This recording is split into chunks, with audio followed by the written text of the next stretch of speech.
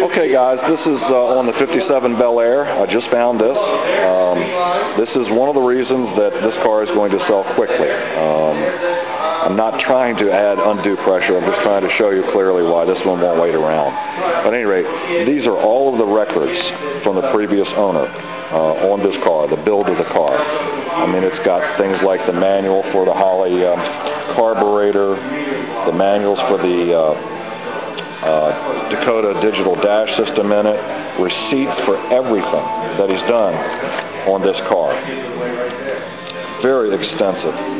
Um, not everybody takes the time to do this type of documentation. We added up the receipts. One of the salesmen started counting them. He stopped at $80,000 to show you the, uh, the, extreme value of this car.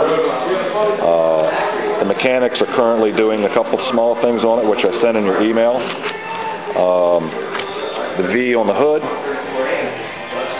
right there, was just replaced.